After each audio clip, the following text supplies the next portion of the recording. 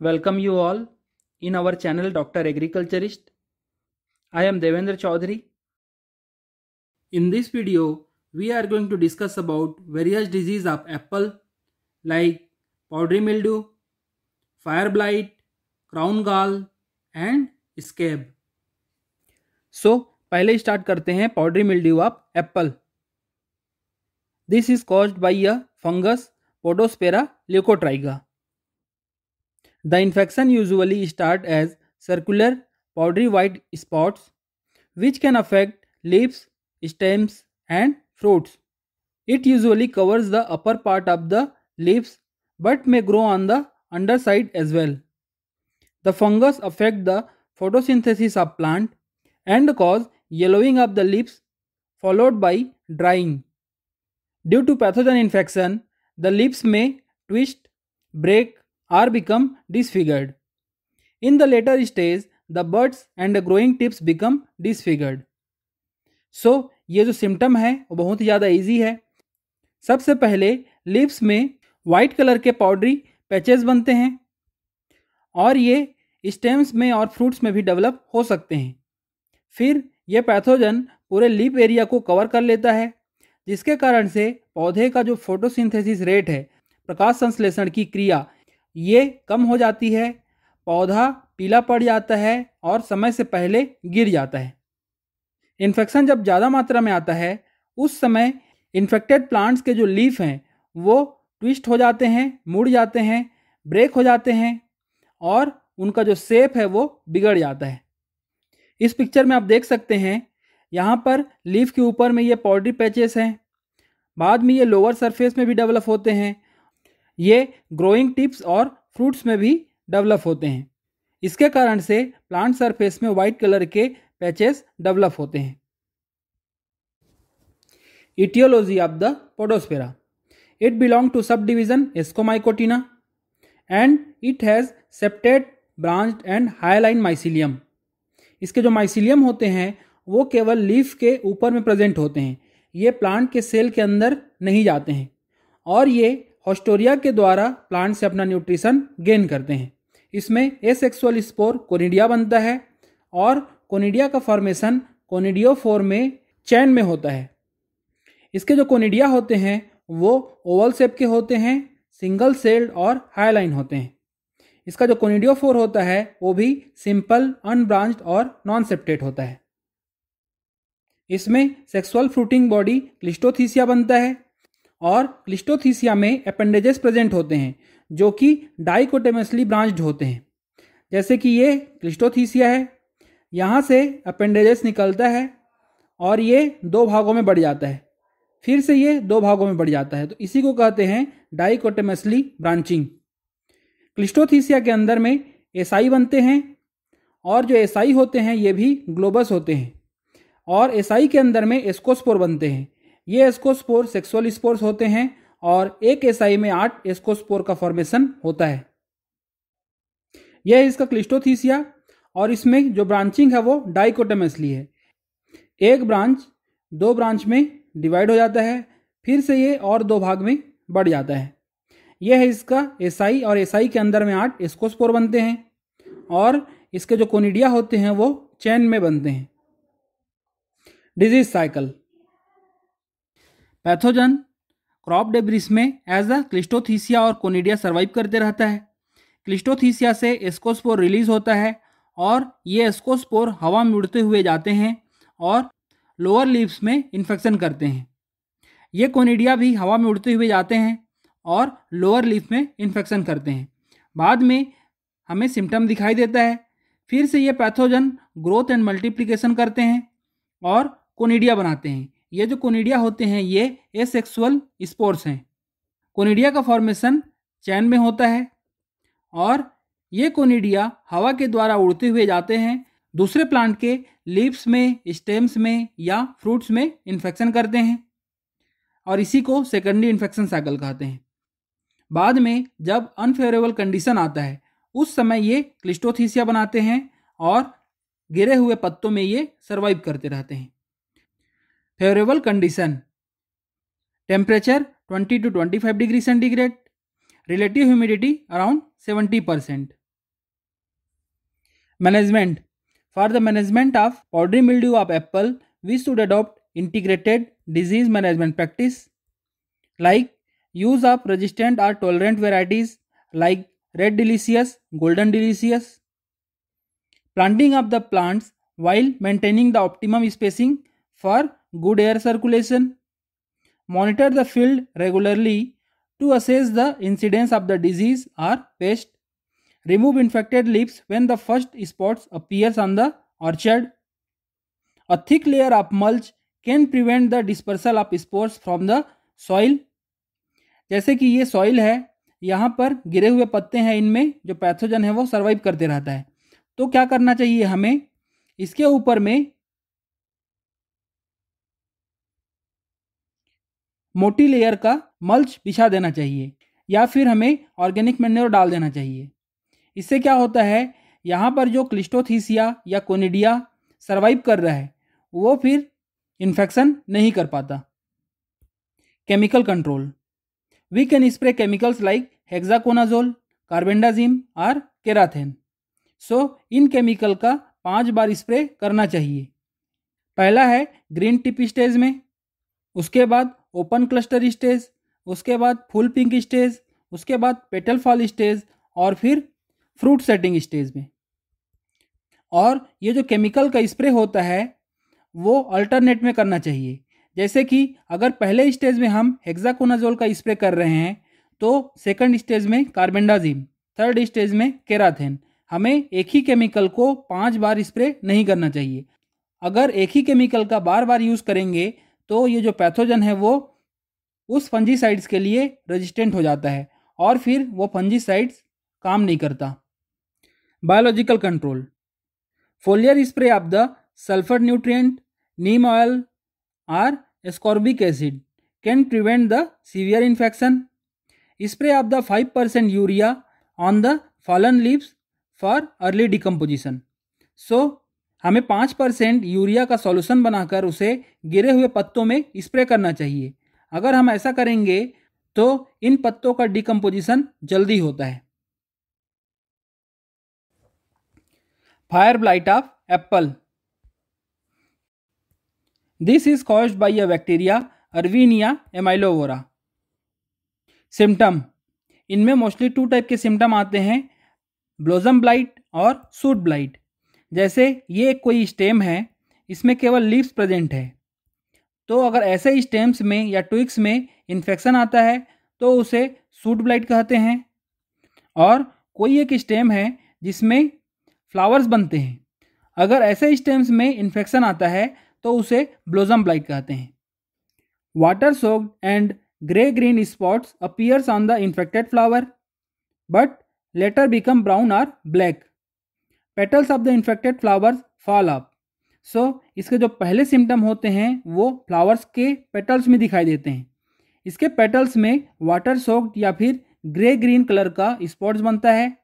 बाद में इसका कलर ब्राउन कलर का या ब्लैक कलर का हो जाता है। फिर यह इन्फेक्शन पेटल्स में फैलता है, जिसके कारण से जो इन्फेक्टेड फ्लावर है, वो गिर जाता है।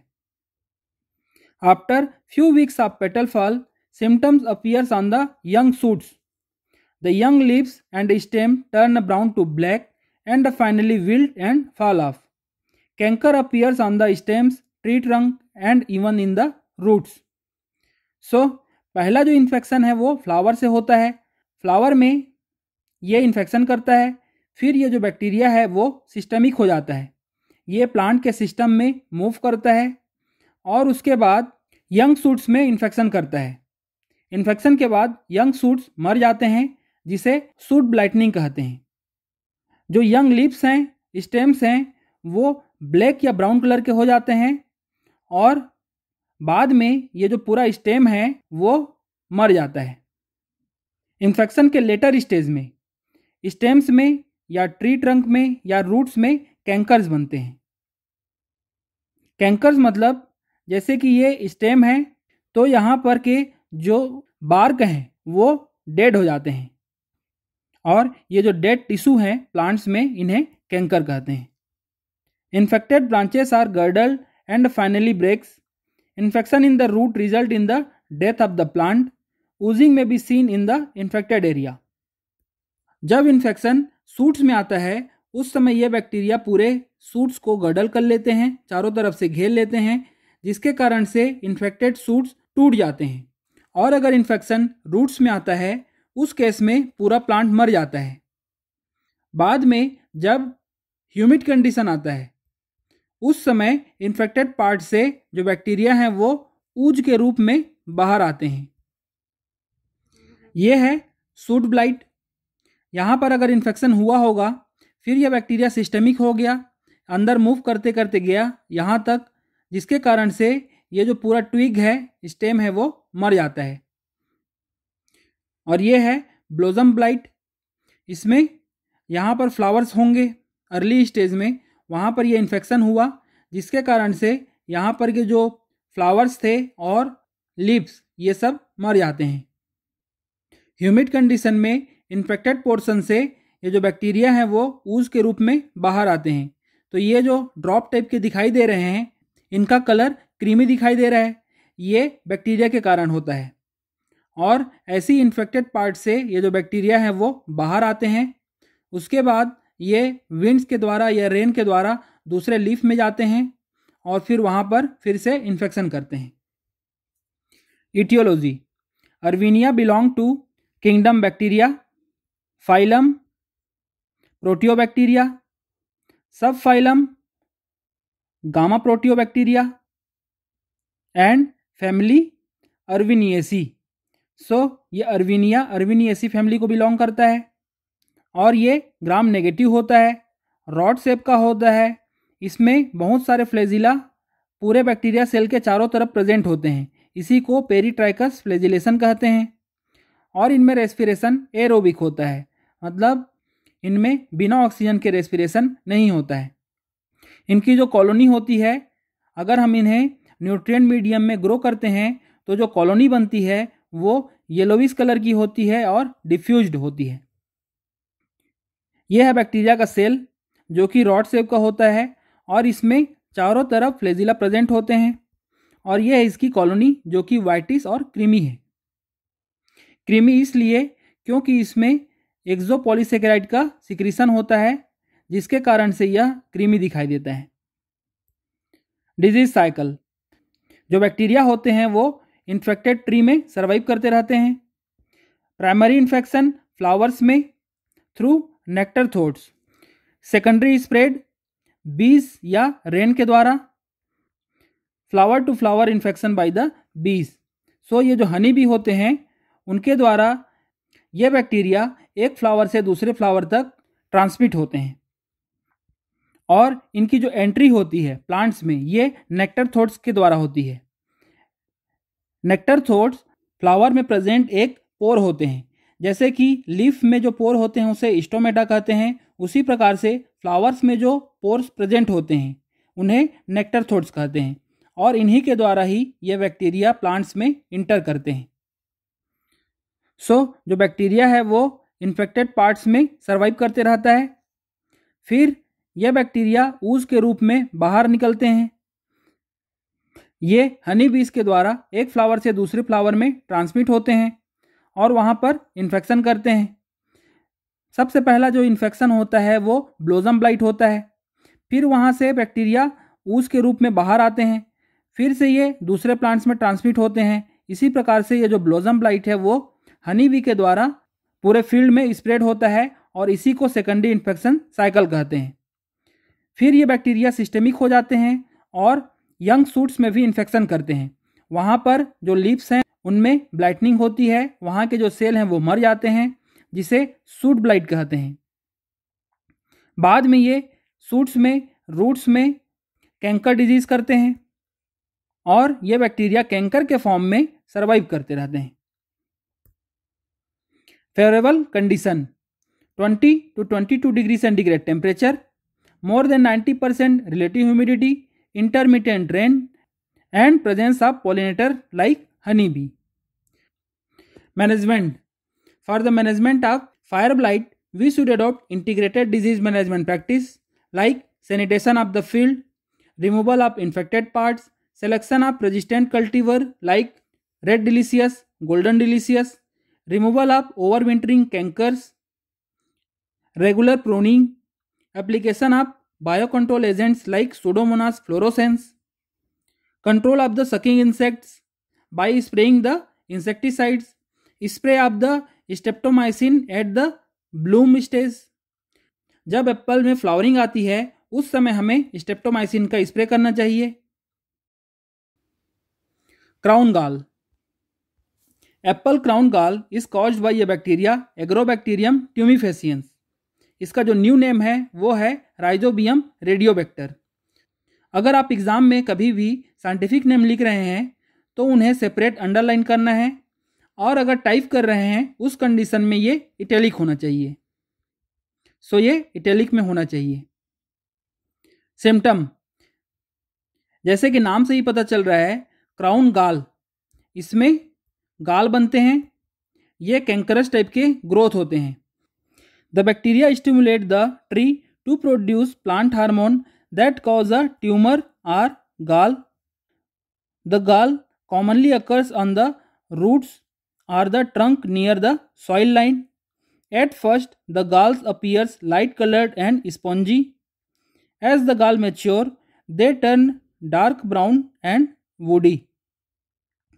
ये है सिम्टम मोस्टली रूट्स में या फिर ट्रंक में, जो कि सॉइल के पास है, वहाँ पर ऐसे गाल्स बनते हैं। ये कैंकरस ग्रोथ है। ये क्यों बनता है? क्योंकि ये जो बैक्टीरिया है, वो हार्मोन्स को इंड्यूस कर देता है। यहाँ पर हार्मोन का प्रोडक्शन बढ़ जाता है, जिसके कारण से हाइपरट्रोफी और हाइपरप्लेसिया हो जाता है। यहाँ के जो सेल्स हैं, उनका साइज़ भी बढ़ जाता है और उनका नंबर भी बढ़ जाता है, जिसके कारण से यहाँ पर हमें ऐसे गाल दिखाई देता है। स्टार्टिंग में ये जो गाल्स होते हैं वो स्पॉन्जी दिखाई देते हैं। लेकिन समय के साथ ये हार्ड हो जाते हैं। Aetiology the Agrobacterium is a bacteria and belong to family Rhizobiaceae phylum proteobacteria subphylum alpha proteobacteria it is a gram negative bacteria so इसका जो ग्राम स्टेनिंग होता है वो नेगेटिव होता है। सेल सेप रॉड सेप का होता है। फ्लेजिला लेटरल होता है। इसमें लेटरल फ्लेजिला प्रेजेंट होते हैं। रेस्पिरेशन एरोबिक होता है। बिना ऑक्सीजन के ये सर्वाइव नहीं कर सकते। और इनकी जो कॉलोनी होती है, अगर हम इसे न्यूट्रेंट मीडियम में ग्रो करेंगे तो जो कॉलोनी बनती है वो वाइट कलर की दिखाई देती है। ये है रॉड सेप्ड बैक्टीरिया और इसमें जो फ्लेजिला है वो लेटरल साइड में प्रेजेंट होते हैं। इसीलिए इसे लेटरल फ्लेजिला कहते हैं और यह है इसकी कॉलोनी जो कि वाइट कलर की दिखाई देती है। डिज़ीज़ साइकिल ये जो बैक्टीरिया है, ये सॉइल बॉर्न बैक्टीरिया है। मतलब कि होस्ट के एब्सेंस में ये सॉइल में सर्वाइव करते रहता है। उसके बाद जब प्लांट्स में वुंड्स होते हैं इंजरी होती है, जैसे कि ये ट्री है, यहाँ पर कुछ डैमेज होता है। ये डैमेज या तो मोवर के द्वारा हो सकता है या प्रूनिंग के टाइम हो सकता है या फ्रोस्ट के कारण हो सकता है या फिर इंसेक्ट के कारण। सो so, किसी भी कारण से अगर यहाँ पर के जो सेल हैं उसमें डैमेज होता है यहाँ पर घाव बनता है तो ये बैक्टीरिया जो सॉइल में सर्वाइव करते रहता है यहाँ से प्लांट्स में इंटर करता है। और ये प्लांट के सिस्टम में मूव नहीं करता है बल्कि ये यहाँ पर के जो प्लांट सेल हैं उनमें हार्मोन के लेवल को बढ़ा देता है जिसके कारण से यहाँ के सेल में मल्टीप्लिकेशन ज़्यादा होता है उनका साइज़ बढ़ता है और एक ऐसा कैंकर का ग्रोथ दिखाई देता है। So so, pathogen crop debris में सॉइल में और इन्फेक्टेड स्टेम में सर्वाइव करते रहता है। वुंड्स के द्वारा या किसी घाव के द्वारा ये प्लांट्स में इंटर करते हैं सिम्टम डेवलप होता है फिर से ये बहुत सारे बैक्टीरिया बनाते हैं। ये बैक्टीरिया फिर से सॉइल के द्वारा या प्रूनिंग टूल्स के द्वारा दूसरे प्लांट्स में जाते हैं, वहाँ पर इन्फेक्शन करते हैं और क्रॉप के एब्सेंस में ये क्रॉप डेब्रिस में या सॉइल में सर्वाइव करते रहते हैं। Favourable condition 28 to 30 degree centigrade temperature injury in the plant presence of moisture on the host surface and susceptible variety management For the management of crown gall, we should adopt integrated disease management practice like use of only certified and disease-free planting material.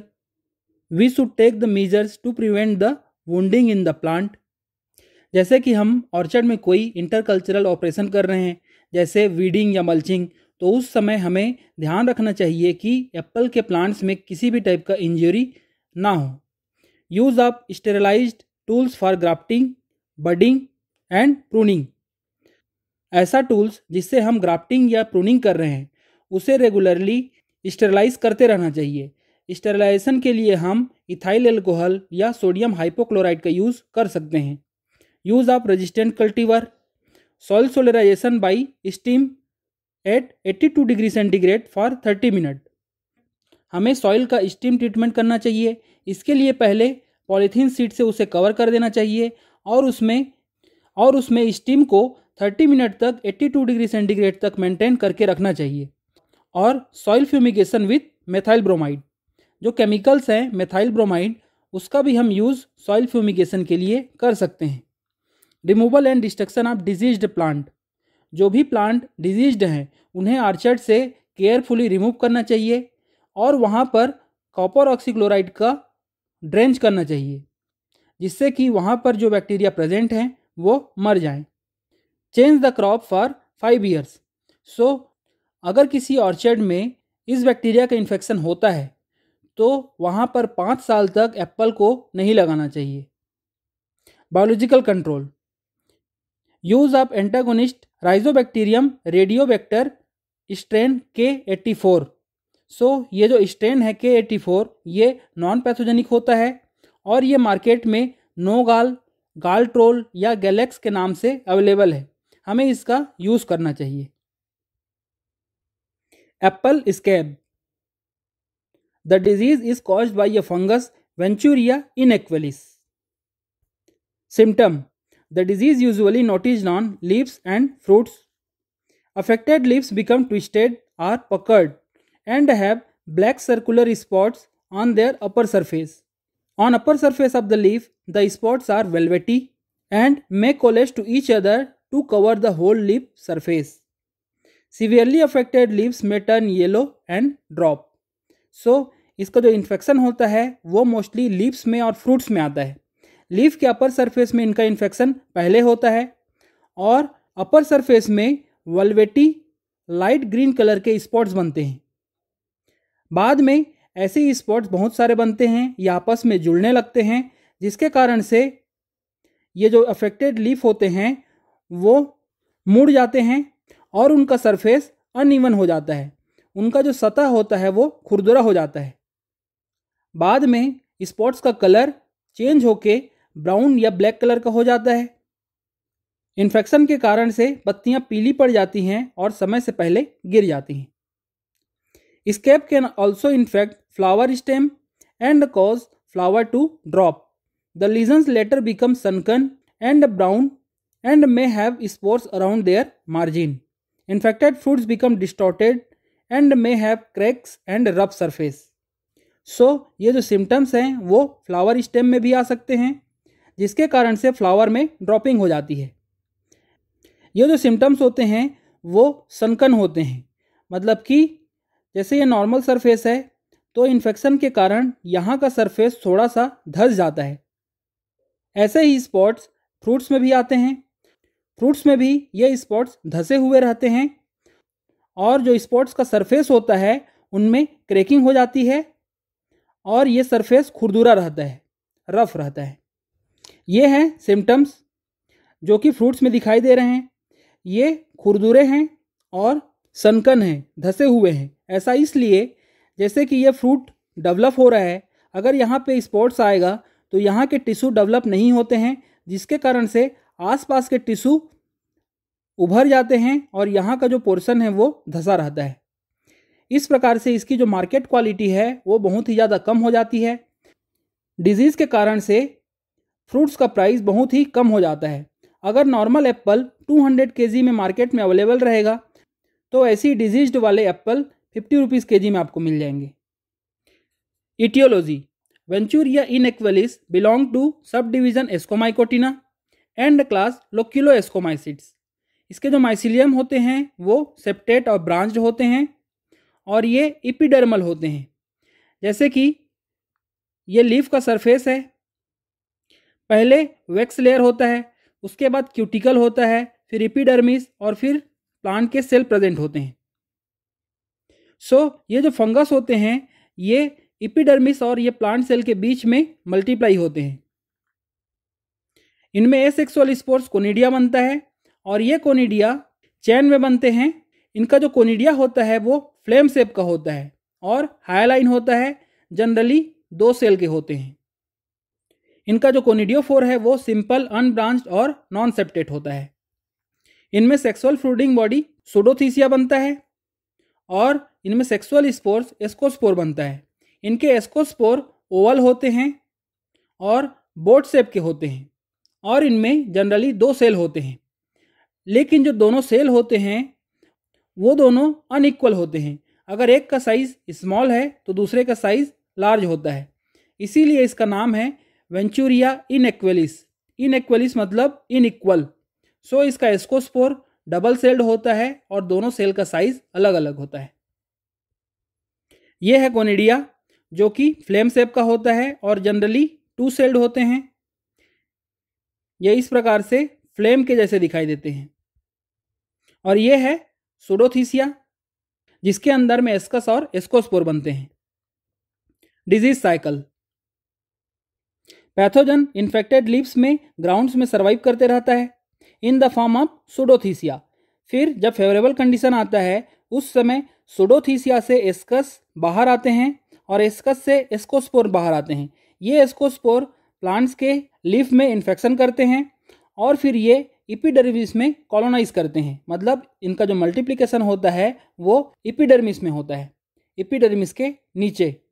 फिर हमें symptom दिखाई देता है। फिर से ये conidia बनाते हैं। इसका जो कोनिडिया होता है, वो फ्लेम सेप का होता है। ये कोनिडिया हवा में उड़ते हुए जाते हैं और दूसरे लीव्स में फ्लावर स्टेम में और फ्रूट्स में इन्फेक्शन करते हैं। और इस प्रकार से कोनिडिया के कारण जो इन्फेक्शन होता है, उसे सेकेंडरी इन्फेक्शन साइकिल कहते हैं।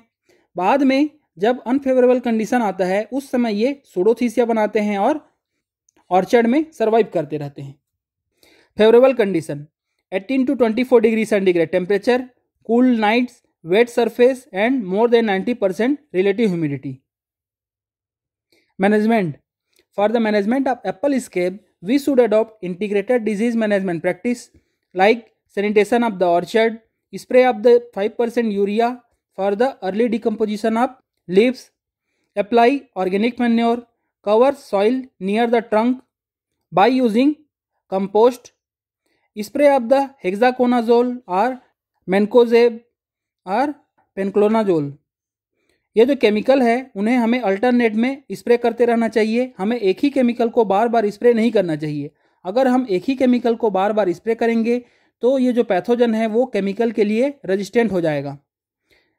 Spray of the biological control agents like Chaetomium globosum choose resistant varieties like MacFree Freedom और Redfree Please watch more videos from our channel. You can download lecture PDF from our Telegram channel. Don't forget to subscribe Dr. Agriculturist and hit the notification bell. Follow our Facebook page Keti Ki Jankari. Thanks for watching the video till end, we will meet again in next video.